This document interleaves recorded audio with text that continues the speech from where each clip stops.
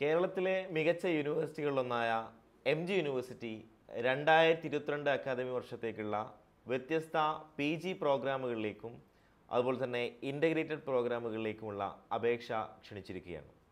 എങ്ങനെയാണ് M G യൂണിവേഴ്സിറ്റിയുടെ വ്യത്യസ്ത കോഴ്സുകളിലേക്ക് അപേക്ഷിക്കേണ്ടത് എന്നുള്ളതും അതുപോലെ തന്നെ ഏതൊക്കെ കോഴ്സുകളാണ് എം ജി യൂണിവേഴ്സിറ്റിയിൽ പ്രൊവൈഡ് ചെയ്യുന്നതും എന്നതാണ് നമ്മൾ ഈ വീഡിയോയിൽ പരിശോധിക്കാൻ വേണ്ടി പോകുന്നത്.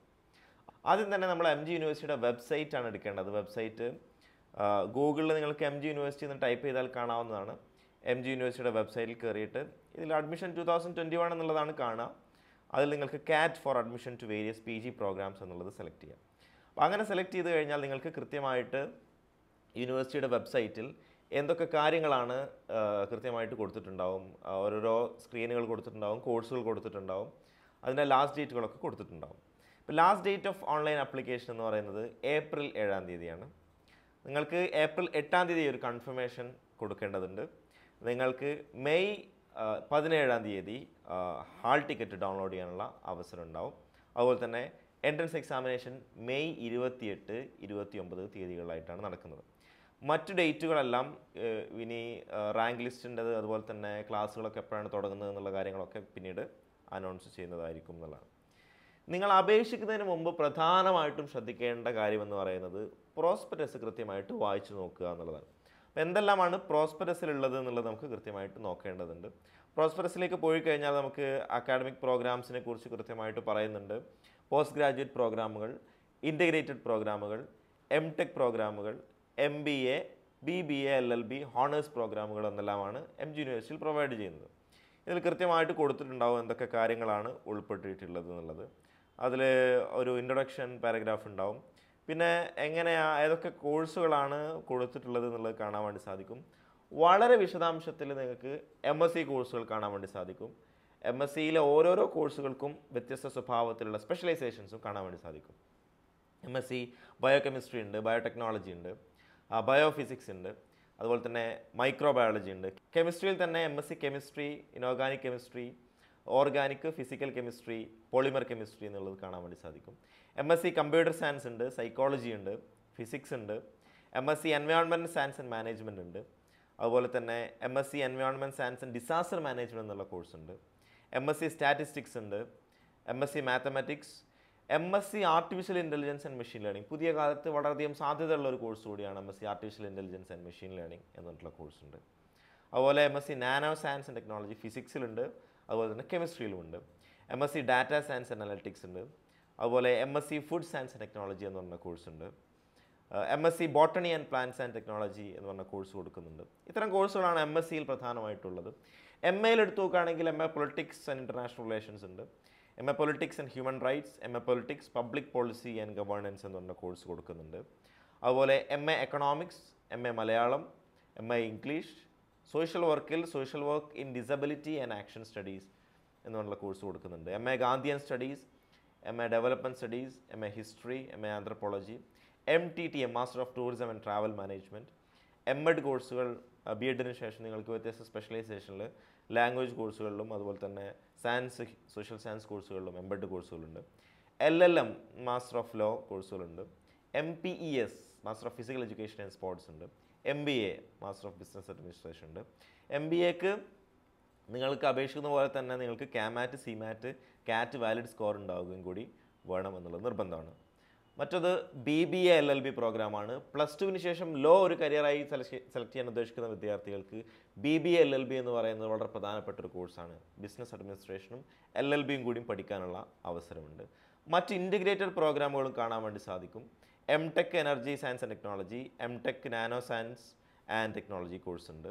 അതുപോലെ തന്നെ സോഷ്യൽ സയൻസിലും സയൻസിലും നിങ്ങൾക്ക് ഇന്റഗ്രേറ്റഡ് പ്രോഗ്രാം വേണ്ടി പ്രോഗ്രാം കാണാൻ വേണ്ടി സാധിക്കും. എക്കണോമിക്സ് ഹിസ്റ്ററി പൊളിറ്റിക്കൽ സയൻസ് എന്നിങ്ങനെ ഇന്റഗ്രേറ്റഡ് എം എ പ്രോഗ്രാമുകളും ഇന്റഗ്രേറ്റഡ് എം എസ് സി പ്രോഗ്രാമുകൾ chemistry physics life science computer science എൻവയോൺമെന്റൽ science എന്നിങ്ങനെ കോഴ്സുകൾ കാണാൻ വേണ്ടി സാധിക്കുന്നുള്ളതാണ് ചുരുങ്ങിയ സീറ്റുകളാണ് ഓരോരോ ഡിസിപ്ലിനിലുള്ളത് എങ്കിൽ പോലും നിങ്ങൾക്ക് state quota all India open quota international quota എന്നിങ്ങനെ കാണാൻ വേണ്ടി സാധിക്കും.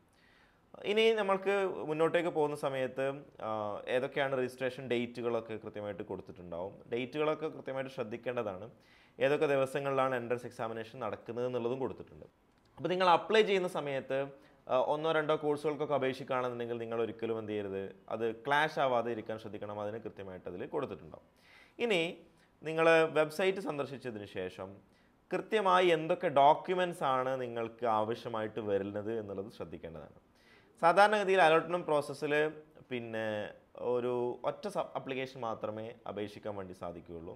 ഒന്നോ രണ്ടോ ഒന്നിൽ കൂടുതൽ അപേക്ഷ സമർപ്പിക്കുകയാണെന്നുണ്ടെങ്കിൽ അത് ഇൻവാലിഡ് ആയിക്കും എന്നുള്ളതാണ്. അതോടൊപ്പം തന്നെ നിങ്ങളുടെ ഒറിജിനൽ സർട്ടിഫിക്കറ്റ്സും അതുപോലെ തന്നെ അക്കാഡമിക് ക്വാളിഫിക്കേഷൻസും പാലിക്കുന്ന എലിജിബിലിറ്റി കണ്ടീഷൻസും പ്രൊവൈഡ് ചെയ്യുന്ന ഒറിജിനൽ സർട്ടിഫിക്കറ്റ്സ് ആണ് പ്രൊവൈഡ് ചെയ്യേണ്ടത്. അതുപോലെ തന്നെ എൻട്രൻസ് ടെസ്റ്റിന്റെ ഡീറ്റെയിൽസ് ഓരോന്നിനൊക്കെ വിശദാംശങ്ങൾ വളരെ കൃത്യമായിട്ട് പ്രോസ്പെറസിൽ കൊടുത്തിട്ടുണ്ടാവും. ഇനി എങ്ങനെയാണ് അപ്ലൈ ചെയ്യുന്നതെന്ന് നോക്കാം. അപ്ലൈ ചെയ്യുന്നതിന് മുമ്പ് നിങ്ങൾ നിങ്ങളുടെ ഒരു ഫോട്ടോഗ്രാഫ് വളരെ വൃത്തിയുള്ള അതുപോലെ തന്നെ ബാക്ക്ഗ്രൗണ്ട് പ്രിഫറബിളി വൈറ്റ് ആയിട്ടുള്ളൊരു ഫോട്ടോഗ്രാഫ് നിങ്ങൾ നിങ്ങൾ കീപ്പ് ചെയ്യേണ്ടതാണ്. അതോടൊപ്പം തന്നെ നിങ്ങളുടെ ഒരു സർട്ടിഫിക്കറ്റിന്റെ കോപ്പികൾ ഒക്കെ കൃത്യമായിട്ട് രേഖ സൂക്ഷിച്ചതിന് ശേഷം നിങ്ങൾ വെബ്സൈറ്റിൽ അപ്ലൈ നൗ എന്ന് പറഞ്ഞിട്ടുള്ള ഓപ്ഷൻ കാണാം. ഇവിടെ ഇങ്ങനെ മുകളിലത്തെ ടാബ് അപ്ലൈ നൗ എന്നുള്ള ഓപ്ഷൻ കാണാം. ഈ അപ്ലൈ നൗ എന്നുള്ള ഓപ്ഷൻ ക്ലിക്ക് ചെയ്യുന്ന സമയത്ത് നിങ്ങൾക്ക് യൂണിവേഴ്സിറ്റിയുടെ അപ്ലിക്കേഷൻ പ്രോസസ്സ് നടക്കുന്ന സെക്ഷനിലേക്ക് നിങ്ങൾക്ക് പോകാൻ വേണ്ടി സാധിക്കും. അതിൽ പേര് നിങ്ങളുടെ state of domicile date of birth mobile number email address നിങ്ങൾ ഇതിനു വേണ്ടി ഉണ്ടാക്കുന്ന പാസ്വേഡ് അതുപോലെ തന്നെ അതിന്റെ കൺഫർമേഷൻ സെക്യൂരിറ്റി കോഡൊക്കെ കൊടുക്കാൻ വേണ്ടി സാധിക്കും. എന്നിട്ട് അത് സേവ് ആൻഡ് കണ്ടിന്യൂ എന്നുള്ള ഓപ്ഷൻ കൊടുത്തതിന് ശേഷം അടുത്ത ഘട്ടത്തിലേക്ക് നിങ്ങൾക്ക് പോകാൻ വേണ്ടി സാധിക്കും. അടുത്ത ഘട്ടത്തിലാണ് നിങ്ങൾക്ക് ഫോട്ടോ അപ്ലോഡിങ് അതുപോലെ തന്നെ നിങ്ങളുടെ ഒരു സിഗ്നേച്ചർ അത്തരം സംഗതികളൊക്കെ കൃത്യമായിട്ട് കൊടുക്കാൻ വേണ്ടി പറയും. പേഴ്സണൽ ഡീറ്റെയിൽസ് നിങ്ങൾ കൊടുക്കേണ്ടി വരും. നിങ്ങളുടെ പേരിന്റെ കൂടെ തന്നെ മറ്റു വിശദാംശങ്ങൾ കാസ്റ്റ് ഡീറ്റെയിൽസ് അത്തരം സംഗതികളൊക്കെ കൊടുക്കേണ്ടി വരും. നിങ്ങളുടെ ക്വാളിഫിക്കേഷൻ അനുസരിച്ച് ഏത് എൻട്രൻസ് എക്സാമിനേഷനാണോ നിങ്ങൾ അപ്ലൈ ചെയ്യുന്നത് അത്തരം ഡീറ്റെയിൽസ് കോഴ്സ് സെലക്ഷൻ എന്നുള്ള ഓപ്ഷൻ ഉണ്ടാവും. പിന്നെ എൻട്രൻസ് ടെസ്റ്റ് സെന്ററുകൾ കൊടുക്കാനുണ്ടാവും. ഇപ്പോൾ കേരളത്തിൽ തിരുവനന്തപുരം കോട്ടയം കൊച്ചി കണ്ണൂർ കോഴിക്കോട് എന്നിവിടങ്ങളിലാണ് സെന്റർ ഉള്ളത്. അപ്പം ഏതാണോ നിങ്ങൾക്ക് പ്രിഫറബിൾ ആയിട്ടുള്ള സെന്ററുകൾ അത് കൊടുക്കാനുള്ള ഓപ്ഷൻ ഉണ്ടാവും. ഇതെല്ലാം കൊടുത്തു കഴിഞ്ഞ ശേഷം ഡിക്ലറേഷനുള്ള ഒരു നിങ്ങൾ കൊടുത്ത ഇൻഫർമേഷൻസ് ഒക്കെ കറക്റ്റ് ആണ് എന്ന് പറഞ്ഞ ഒരു ഡിക്ലറേഷൻ ഫോം ഫിൽ ചെയ്യാനുണ്ടാവും. പിന്നീട് രജിസ്ട്രേഷൻ ഫീസാണ് കൊടുക്കേണ്ടത്. സാധാരണ ജനറൽ കാൻഡിഡേറ്റ്സിന് ആയിരത്തി ഒരുന്നൂറ് രൂപയും എസ് സി എസ് ടി കാൻഡിഡേറ്റ്സിന് അഞ്ഞൂറ്റി അൻപത് രൂപയുമാണ് രജിസ്ട്രേഷൻ ഫീസ് വരുന്നത്. അപ്പോൾ നിങ്ങൾ അപ്ലൈ ചെയ്യുന്ന സമയത്ത് ഡെബിറ്റ് കാർഡോ ക്രെഡിറ്റ് കാർഡോ ഇന്റർനെറ്റ് ബാങ്കിങ്ങോ ഒക്കെ വഴിയൊക്കെ നിങ്ങൾക്ക് ഓൺലൈനായിട്ട് തന്നെ ഫീസ് അടക്കാനുള്ള ഓപ്ഷൻ ഉണ്ട്. ഇത് കംപ്ലീറ്റ് ചെയ്ത് കഴിഞ്ഞതിന് ശേഷം നിങ്ങൾക്കൊരു കൺഫർമേഷൻ പേജ് നിങ്ങൾക്ക് കിട്ടും. അതിൽ നിന്നൊരു പ്രിന്റ് ഔട്ട് എടുത്ത് നിങ്ങൾ കയ്യിൽ സൂക്ഷിക്കേണ്ടതാണ്. പ്രിന്റ് ഔട്ട് നിങ്ങൾ യൂണിവേഴ്സിറ്റിയിലേക്ക് അയച്ചു കൊടുക്കേണ്ട ആവശ്യമില്ല. നിങ്ങൾ ജസ്റ്റ് നിങ്ങൾക്ക് വെരിഫിക്കേഷന് വേണ്ടിയിട്ട് ചെയ്താൽ മതി എന്ന് മാത്രമേ ഉള്ളൂ. പിന്നീട് എൻട്രൻസ് എക്സാമിനേഷന്റെ അഡ്മിറ്റ് കാർഡുകളൊക്കെ യൂണിവേഴ്സിറ്റി വെബ്സൈറ്റിൽ കൂടെ തന്നെയാണ് കിട്ടുക. നിങ്ങൾക്ക് ഇൻഡിവിജ്വലി മെസ്സേജുകളൊന്നും വരില്ല. അപ്പോൾ നിങ്ങൾ കൃത്യമായിട്ട് യൂണിവേഴ്സിറ്റി വെബ്സൈറ്റ് ഫോളോ ചെയ്യണം എന്നുള്ളതാണ്. കൂടുതൽ വിശദാംശങ്ങൾക്ക് അഡ്മിഷൻ റിലേറ്റഡ് ആയിട്ടുള്ള ക്വറീസിന് ഇതിൽ കൊടുത്തിരിക്കുന്ന കോൺടാക്റ്റ് നമ്പറിലൊക്കെ നിങ്ങൾക്ക് ബന്ധപ്പെടാവുന്നതാണ്. വളരെ വിശദമായിട്ട് ഇംഗ്ലീഷിലും മലയാളത്തിലും യൂണിവേഴ്സിറ്റിയുടെ വെബ്സൈറ്റിൽ കൊടുത്തിട്ടുണ്ട് എന്തൊക്കെ കാര്യങ്ങളാണ് ശ്രദ്ധിക്കേണ്ടത് എന്നുള്ളത്.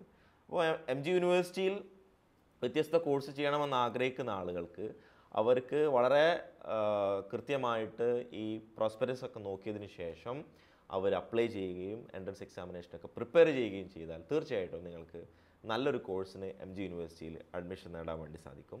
കൂടുതൽ കരിയർ സംബന്ധമായിട്ടുള്ള വിശദാംശങ്ങളും എം ജി യൂണിവേഴ്സിറ്റിയുടെ അഡ്മിഷൻ സംബന്ധമായിട്ടുള്ള വിവരങ്ങളും നിങ്ങൾക്ക് അറിയാൻ താല്പര്യമുണ്ടെങ്കിൽ നിങ്ങൾക്ക് താഴെ കൊടുത്തിരിക്കുന്ന നമ്പറിൽ കോൺടാക്റ്റ് ചെയ്യാവുന്നതാണ്. അഡ്മിഷൻ സംബന്ധമായിട്ടുള്ള സപ്പോർട്ടിനും നിങ്ങൾക്ക് വാട്സപ്പ് ചെയ്യുകയും ചെയ്യാവുന്നതാണ്. താങ്ക്